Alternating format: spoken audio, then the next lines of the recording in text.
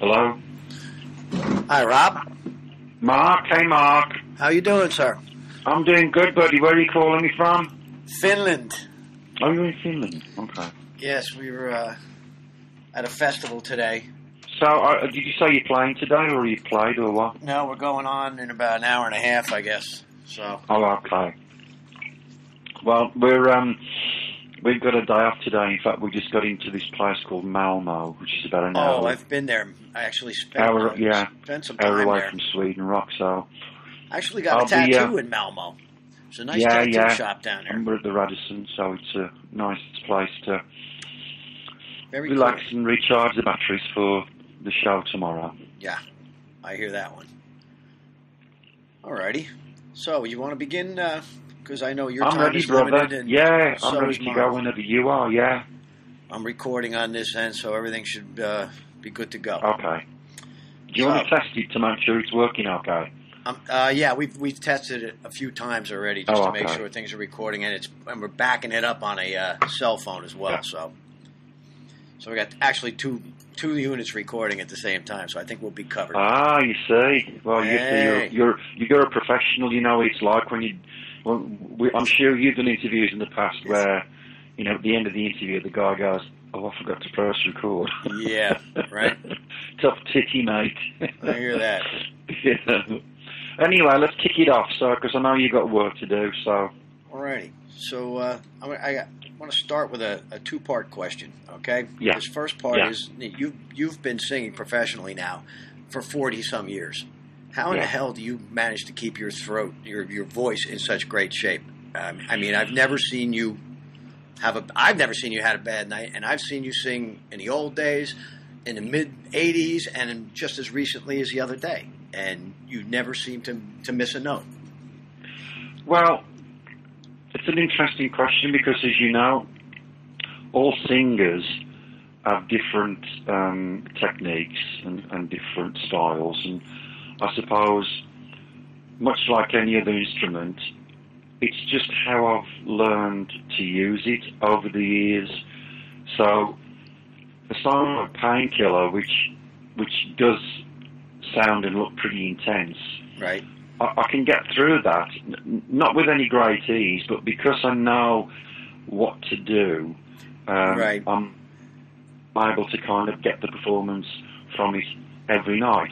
But I've got to tell you, I don't think there's a show that I've ever done where I've come off stage going, I nailed it, I got it 100%. There's always something for me, because I'm a perfectionist, where Yeah. I go, oh fuck, what, you know, that that was the bump. uh, Now my voice was my voice was was a bit rough, and I wanted it to be smooth.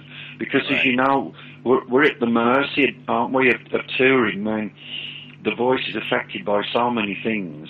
Indeed. Um, so you never know.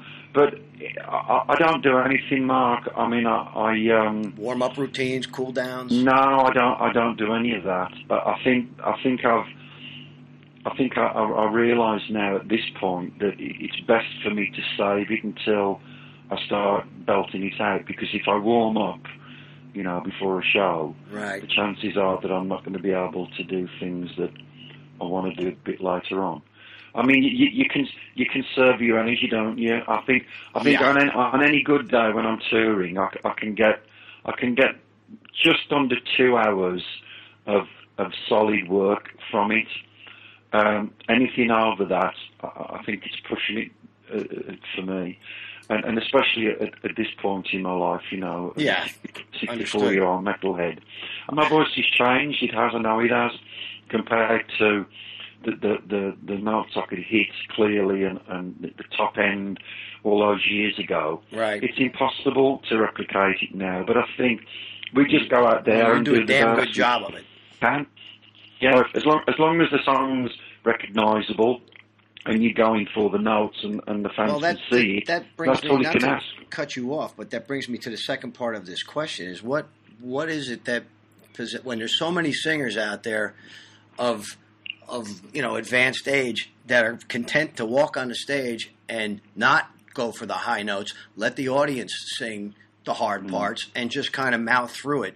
But you still go out there and deliver, for a lack of a better term, deliver the goods. and what possesses what what drives you to do that Uh, when you probably I think all- don't have to? I They would I'm come all- anyway. Yeah. I'm- sorry, go on.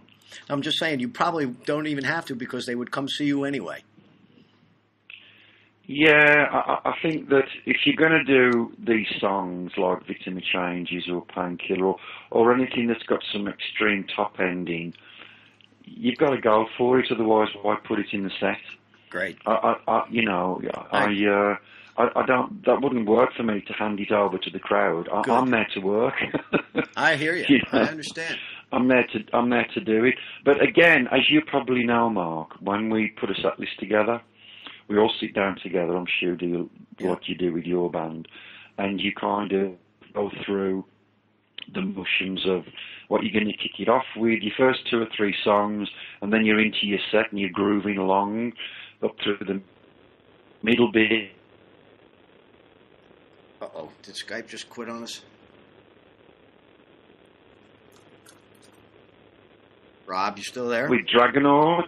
When we start with Dragonaut, whi- which is a relatively simple song to sing, that's my, I'm warming up through that through that section, and then Metal Gods, I'm I'm, I'm kind of picking up the, the speed and, and, and, and then aiming for that third song, Right. uh, Devil's Child, which has got a, some high stuff in it. So by the time I get to the third song, I'm usually I'm usually good to go. Yeah. Uh, and, I, I and- find but- that true as well a lot of times. yeah, yeah. I mean, I, I, I- I, don't think I could. I couldn't kick it off with painkiller. Pain. I need to be really, really loose and warmed up to do painkiller. And Yeah, as you and know, up we do it. damage when you do that too. Yeah, you, think, you, you well, you, yeah, you, you, you've got to be careful because, I mean, also this. is- Do, do you use those in-ear monitors, Mark? No, I don't. You don't. Well, I'll, I'll just tell you this quick story about who introduced me to those. It was Sebastian. Many, many years ago, I went and seen Sebastian opening up for Van Halen in Phoenix, and he was going to go. He was going on stage. This is the very early stages of in-ear monitors, and he. I said, "What are those things in your ears?" He goes, "Oh man." Do you guys find these men? They're amazing. And so he loaned me a pair of his, and he said, "You listen to my mix that the monitor guy is giving me, and just tell me what you think." Well, of course, I could hear everything. I could hear the hi hat, the kick drum. I could hear the bass. Everything was coming through like you were listening to it like a stereo CD or whatever. And I'm like, God, these are amazing. I said, but don't feel de- detached from the crowd. And he goes, well, for me, it's just it's a bit of a trade-off. I mean, I Yeah. love to hear the crowd. I do as well. I'm driven by the crowd. However, we use uh, two live mics Ambient mics. either side of the stage and then one behind Scott. So we finish the song or where the crowd is joining in, I can hear everything they're doing. So what I'm getting to is this bit about when, when I used to blow my voice out, and I used to do it quite regularly in the 70s, the 80s, and, and the 90s to some extent. I'd have a good run, and then, you know, for two or three days, it would be really difficult. So it was these in-ear monitors. It's been a lifesaver, it really has. So now, even though I'm still belting it out, I don't have to push myself to hear that certain note because I was Right. fighting against the guitars or whatever. I can hear, I can hear it, hear everything well enough. There's a bit of a comfort factor, you know, where I can kind of relax. I can do the song and hear everything. And also for me, it, it's it's it's like this critical point of of being confident because if I'm if I if I don't have that confidence when I walk out, I'm just uh, it's it's just shit for me. Yeah, I know. I have to I, feel- I hear that one. Yeah, I just have to feel confident before I Right. walk out on stage, and I still like the nervous the nervous vibe. I, I don't think I've ever walked on stage completely and utterly relaxed and calm. Right. I start getting psyched up as soon as I start getting dressed. And as I'm walking to that stage, it's like going into the ring, you know. You, Sure you just, You, you just want to do the best you can do for your band and for your Yep. fans. And, And, it's, and it's live, all that. live for another It's all day. that, isn't it, Mark? It's a head job, really. It's just so much head job. It's all, it's all the, it's, it's all the stuff that that's going on in our brains to make the best performance that we can, that we can give. Understood. Understood. Am I breaking up on your end at all? No, yeah, I'm, I'm hearing you fine. Okay, might- good. So, I lost you for a might be the second, but I got we pretty much got the whole gist of what was going on there. Okay. Uh, okay. Um, Unleashed in the East Yeah, was the first Judas Priest album that I ever had, and I wore the freaking grooves off of it. right, Uh, right. Went back and got the older albums afterwards, but still to this day, I think probably one of the greatest and sonically great heavy metal live recordings ever. Do you remember anything about how it was recorded? I mean, did they bring out ADATs, or did you actually travel with two-inch tape? It, it, in time, it's surprising to Now you're breaking up. Ah, this internet. Rob, are you still there?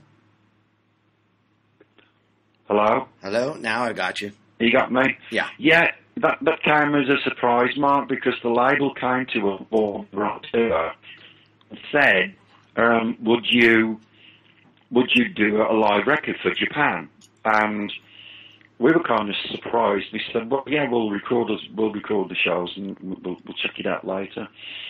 So it was it was the first time that I that I think a metal band had, had made a live recording I believe so. particularly in Japan. And when word got out through the label and elsewhere that, that this was, you know, about to hit, there was just this big, um, big reaction to, to giving it um, a, an international release, which was exciting for us because it's very difficult to capture the, the, the, the live performance of the band because there's so many things going on. Right. But I mean, when I when I listen to it now, it, there's just it there's just a magic there. You know, there's just the magic of the night, the performance, It was. all of the interaction. You know, everything was just clicking, and it's hit and miss when you make a live recording, isn't it? You, just don't know whether you're going to get it or not. But um, it's such. Of course, that was the kick-off really for Japan, for Japanese metal and, and hard rock. We were one of the first bands that went there, Yeah. and uh, so it's a It was a an magic time. exciting. Uh, it's an exciting piece of music. Yeah, we've done other live recordings besides that one, but it's just that particular one, isn't it? Uh, there's just something special about it. I can't quite explain it, but uh, we're just glad to to have it, you know, preserved forever. Um, two of the songs on that album are covers. Yeah, Manalishi, which Yeah. I mean they're both recorded earlier, but Yeah. Green Right. Manalishi, which was written by Peter Green yes, for, for Fleetwood Mac, and if you Yeah. go back and listen to the old Fleetwood Mac recording, you can Right. definitely see yeah, where you guys got that from. I mean, it was so dark and eerie to begin with. It was Yeah. it made perfect sense. The one Right. for me is Diamonds and Rust, which was Yeah. a Joan Baez ballad. How did you Yeah. ever in the hell come up with the idea of turning that into the masterpiece you made out of it? Well, well again, Oh, now I lost you. hello, hello, testing one, two, three. There you are. Hello, Good. hello. Yeah, the label came to us and said, look, things are starting to happen for you in America, but we really need something for the radio. Ah. Um, and we've never written anything for the radio, in all honesty. All those songs that happen, like Breaking the Law, Living After Midnight, uh, you know, Another Thing Coming, they just they just happen to turn out the way that they were, and they connected to the radio. But in this instance, the label said, we've got a song for you, we're going to send it over. We'd like you to listen to it, and we'd like you to give your interpretation. I'll, I'll never forget the day because we sent the 45, you know, a 45 single. We put it on the record player, and we heard Joan. It was just Joan. Yeah, with an acoustic guitar, right? Yeah, it's a beautiful song. It is a beautiful and we, song. we thought, is this a wind up? Are they like, you know, So many verses in that Oh. darn song too. Yeah, yeah, yeah. But here's the deal. Here's the deal. What we learned right there, and like she wrote, will take any kind of interpretation. So Um, I They just- you repeat that, Rob? I, They just wanted- breaking up.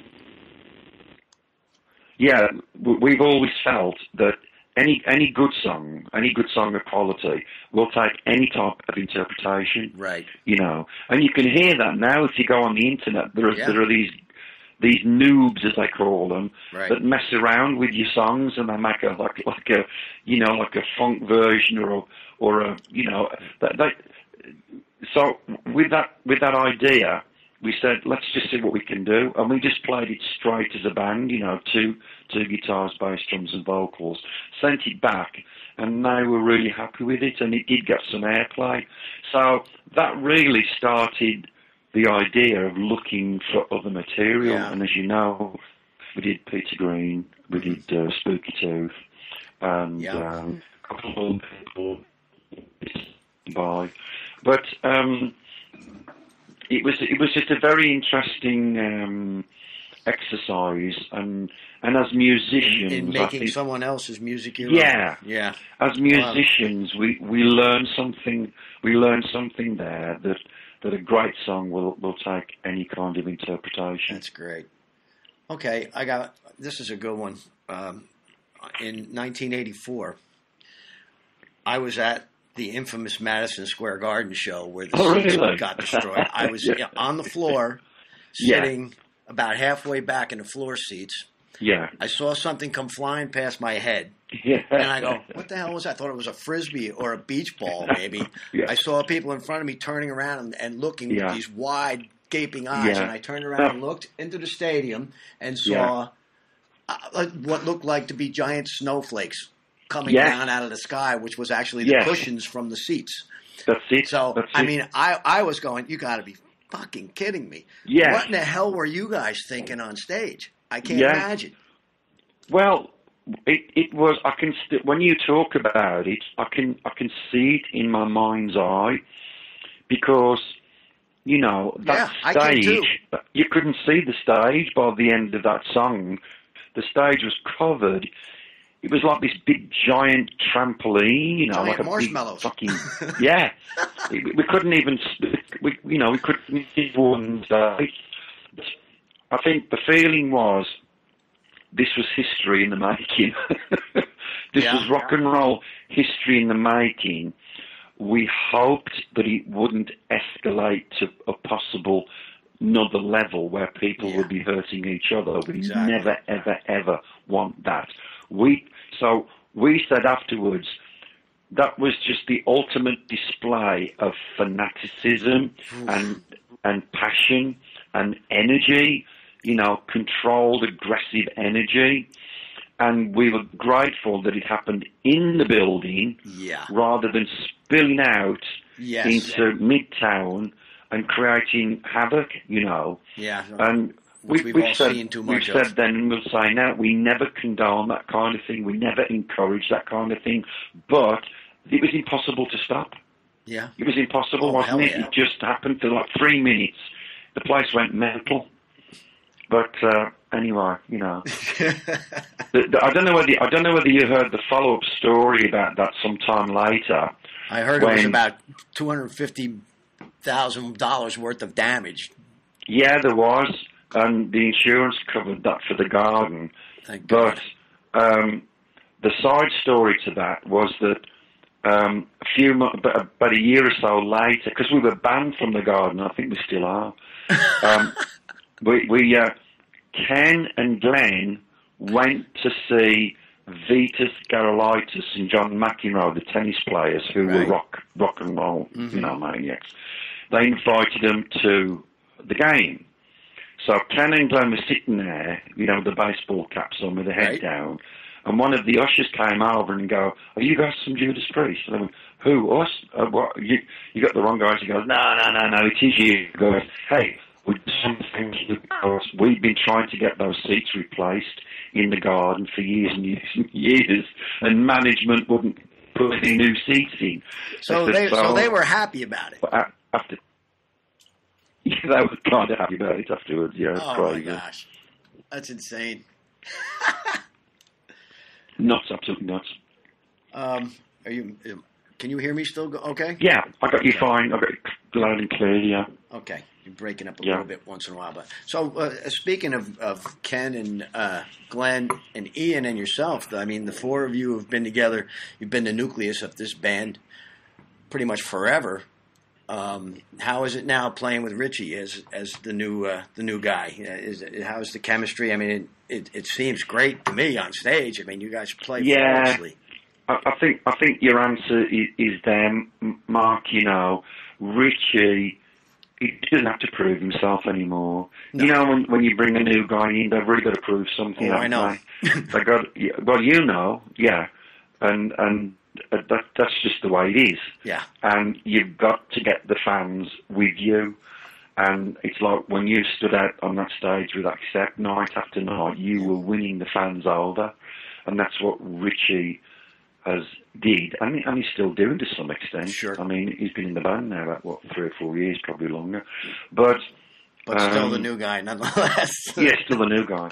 But um, it's great, isn't it? I mean, yeah.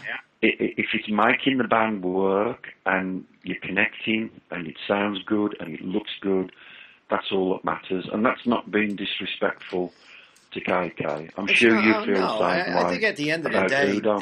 It, it's about the Yeah. music more than anything. You know.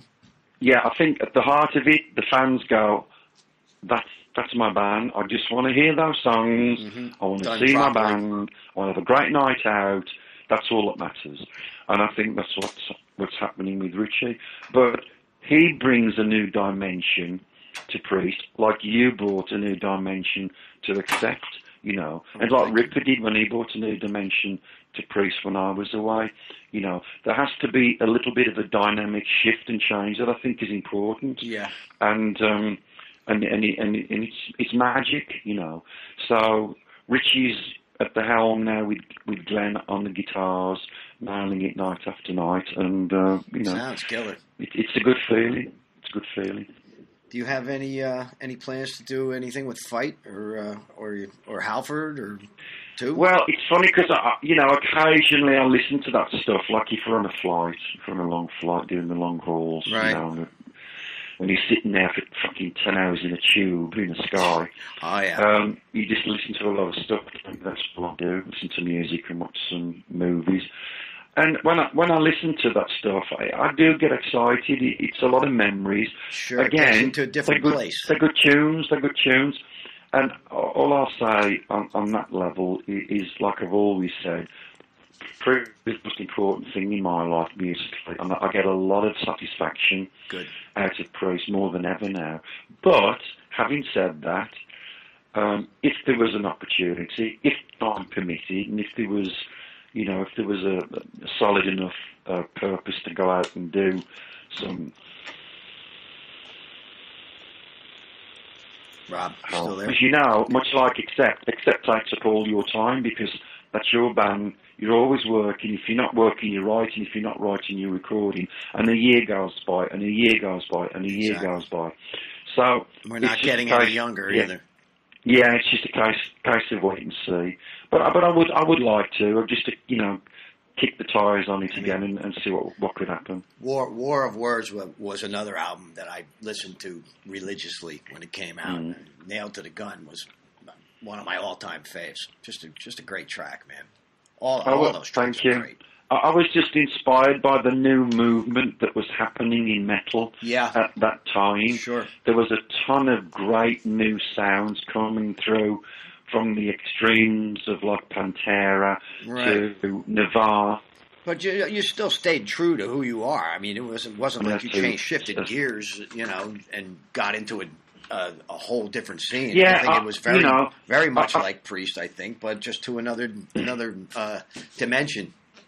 What what what I what I the exercise I set for myself was if I could write songs by myself. I'd never done that before, Right. and I did it all on guitar. Very good guitar player, but I played guitar enough just to get the riffs down, you know. Right. And I, I did all I did all of I did all of the War of Words album in my bedroom of my house in Phoenix. It took me about two weeks to put the songs together, and then of course it took a lot longer to actually you know find the band and record it. But but but that but that was for me for me as a musician. I think much like yourself, probably if if, if there's something that you want to try and do, you you know because it's one life, isn't it? And and you you if there's an opportunity, if you if you're searching something or if you're interested in doing something, what is it stop you? You know, nothing. There's nothing worse than having a dream and not not trying to fulfill it. That's, Yeah. that's how that's how I've always felt.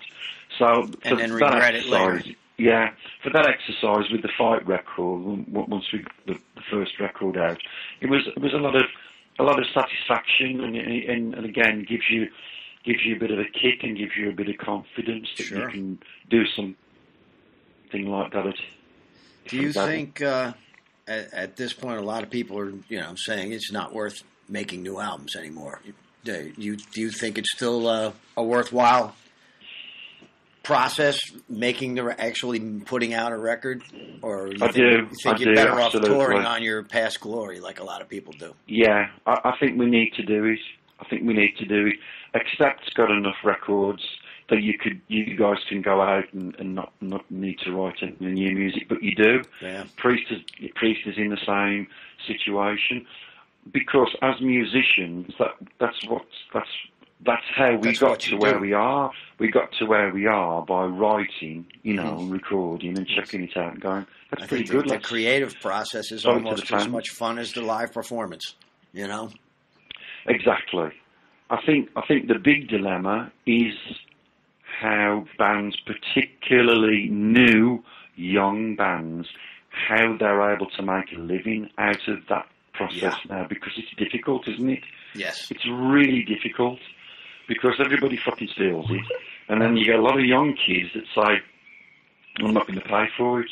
I'm just going to watch it off YouTube or or get it from here and there and everywhere." So the economics, the economics of putting a new band together and getting your music listened to and people buy it and giving you a few dollars to put Sure. gas in the van, it's really hard work now. and there's so many of them. But yeah, but I think it's very, very important that no matter what band you're in, you test yourself. You see what you're capable of doing, you know, and that's why Priest is going to make another record after Redeemer of Souls. We don't need to, but we want to. Yeah, We genuinely want to do another record because we had the blast making Redeemer of Souls.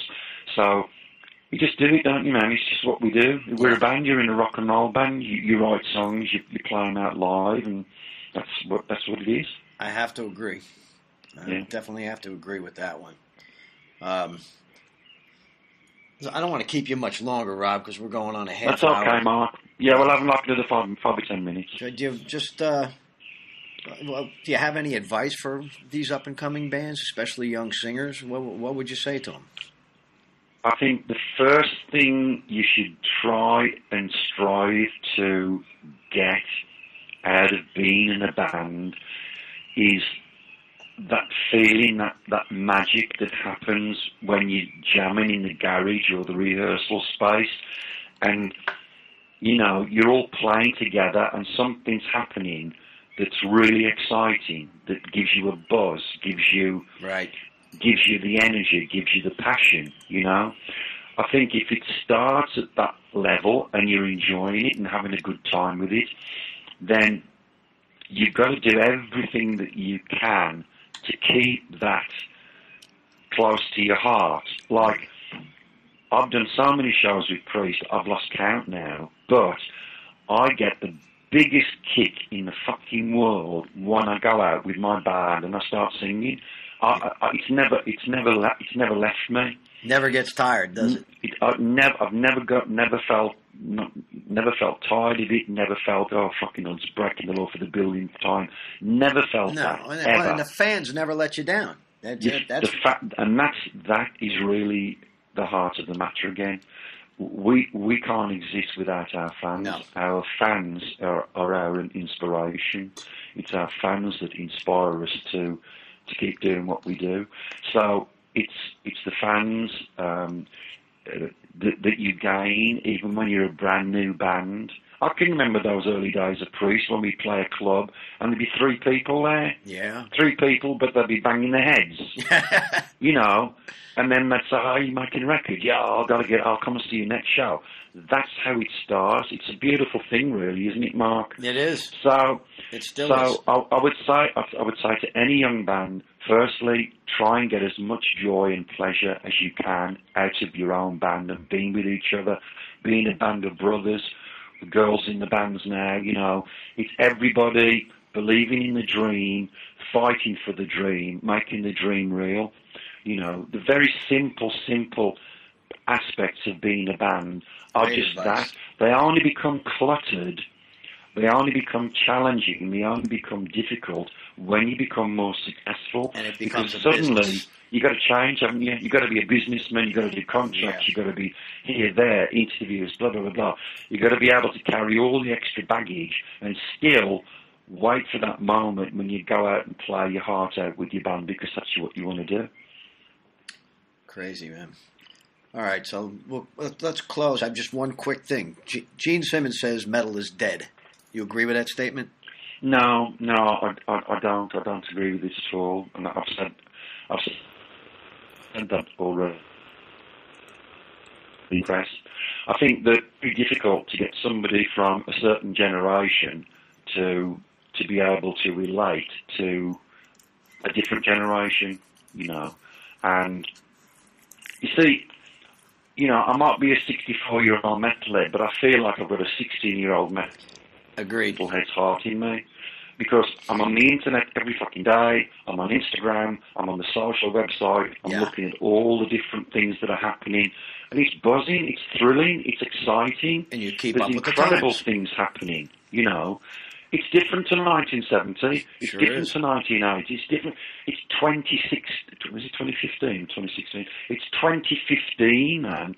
You know, try and think and look at and absorb and relate to what's happening now and not to the past because the past is gone. The music's living forever and I know it's easy to make comparisons, but to say that something is dead, I think is is is just like a real kick in the balls to all the new bands that are desperately trying their hardest and their damnedest to do well and to be successful in rock and roll.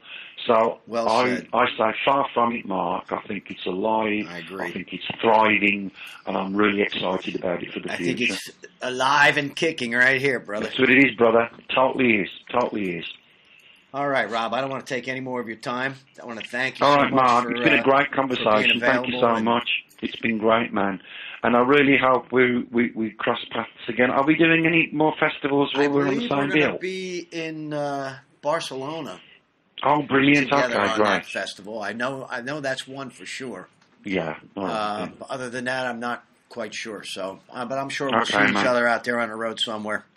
All right, brother. Well, I look forward to seeing you. Give my love to everybody in the I band. will. You, And uh, same. safe, safe travels, safe travels, and I hope to see you soon. Same to you, man. All right, see Take ya. care, Bye. Bye-bye. Bye-bye. Bye.